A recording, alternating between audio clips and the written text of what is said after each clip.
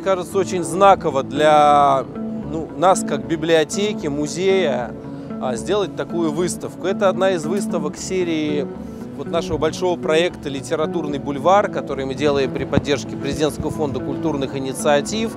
Выставка о литературе в разных ее аспектах. Да. Мы делали много выставок, посвященных а, большим именам нашей литературы.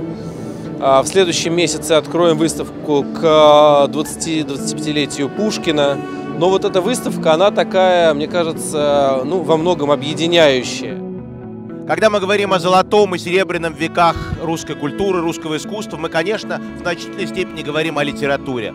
Потрясающий расцвет российской литературы, которая стала э, неотъемлемой частью и очень важным элементом э, мировой культуры – конечно, такой расцвет был бы невозможен без издательского дела. И мы видим, как с начала 19 э, века, э, с каждым годом, с каждым десятилетием в Российской империи, Москве, Петербурге, Киеве, Харькове, во всех крупных городах России развивается издательское дело.